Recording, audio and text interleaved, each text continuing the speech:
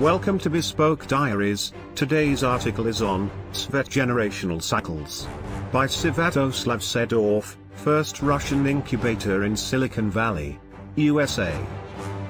One of the most popular metrics, often used to predict the influence of changes in government's political orientation on global markets, is the division on liberals, conservatives and pro, against big government which presents itself one of the last remnants of the personified, monarch-centric politics of pre-war Europe. In this article, Svet proposes to replace those two axes by the reforms, reaction on the vertical and aggressive, passive on the horizontal. Also he intends to briefly review the past 100 years of world's history based on this new analytical approach.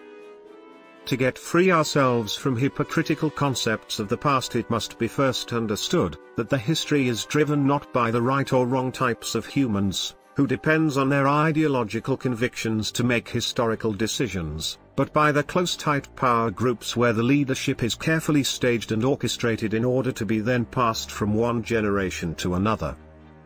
Despite their social homogeneity the preceding generation always tries to push the older one out of power and because of that adapt the policy, which is 180 degrees opposite to that of their fathers. That is, Basically, how we have generational waves during which one type of economic strategy is usually changed to an opposite one. It happens because of the tough logic of power struggle, not of ideological dogmas. Basically, what usually happens is that the privileged by birth group of younger, more desperate and power-hungry individuals uses the latest technological innovation to take power from affluent and wealthy but grossly underperformed older bureaucrats. One generation usually stays in power for about 30 years. That calculus takes into account an average lifespan of a politicized human, with its five main periods of maturity, 20 for growing up and education, 20 for business, 30 for politics and the rest 10, 20 years for retirement. Those active 30 years have two distinct periods in it, first 10 years, reforms, when the new generation of politicians are trying to oust out from power the preceding one, and the next 20, reaction, during which it rules almost non-challenged by actively suppressing the younger opposition. Certainly, that schematics is highly simplified and doesn't take into consideration local geography's specifics, but my main premises is that as our global society becomes more and more centralized all processes synchronize. From this point of view the main political events of the past and current centuries might be summarized as the series of six reforms and reaction cycles. 1900 to 1910, reforms, active, reactionaries were entering into their active midlife period, trying to stabilize the world by falsifying political reforms and pacifying the opposition, as economic and geopolitical controversies continued to mount as a result of the rapid expansion of industrial technologies. 1910 to 1930, reaction, active, aging reactionaries tried to tighten their grip on sovereign dynastic power and unlimited privileges, against the aggressive attacks of new generation of reformists by political subversion, bureaucratic boycott, police force and then by involving their nations into a series of destructive international conflicts. 1930 to 1940, reforms, pre-war generation of politicians in their late 40th, 50th entertained the attempt to change the arc of history, by parting with traditional values and conservative politics of containment, and applied the latest technological inventions to rapid industrialization, global conquests accompanied by brutal suppression of individuals' freedoms. 1940 to 1960, reaction, the aggressive part of the pre-war reformist generation climbed on top of the power pyramid in their countries and launched the global strategy, which goal is to establish the new world order, which is based on the total government's supremacy over the population.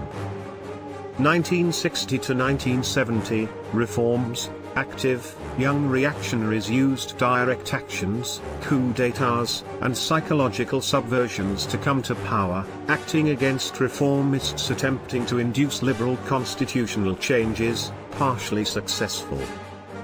1970 to 1990, reaction, active, two national groups of social conservatives, representing the golden generation had built a bipolar world, dominated by the ideological divide between two major nuclear powers USA and USSR.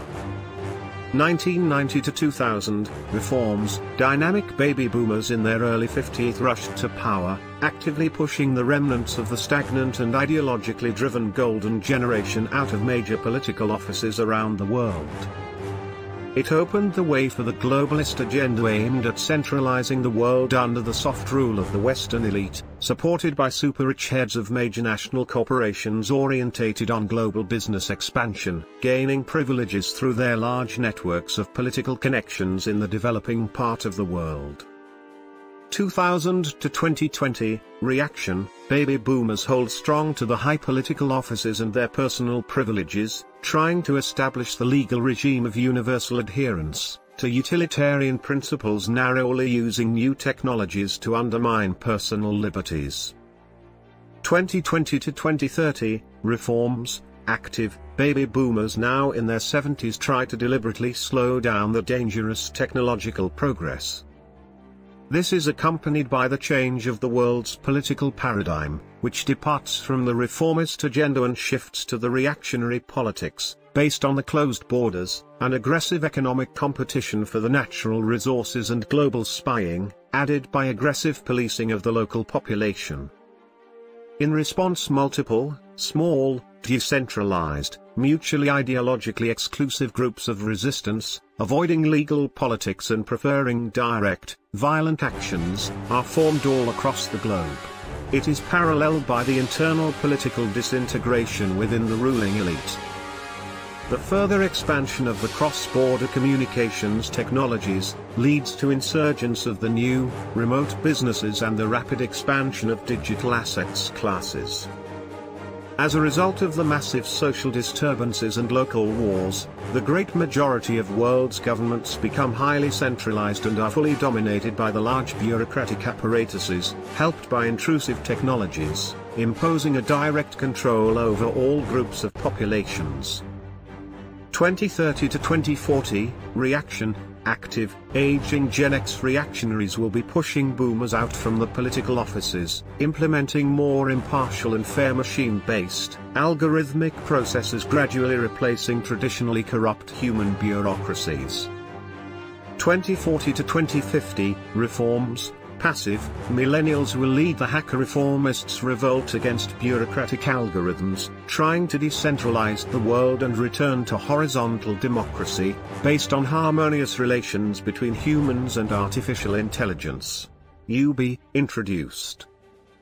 2050 to 2070, reaction, passive, millennials will come to power and start to resist Gen Z attempts to centralize the Earth governance under the unified artificial intelligence, taking the control out of humans' hands completely. Thank you for your time. Don't forget to like, subscribe and share. Do leave your thoughts in the comments section below. For similar type of article please reach us at contact at thebespokediaries.com or you can visit our website www.thebespokediaries.com.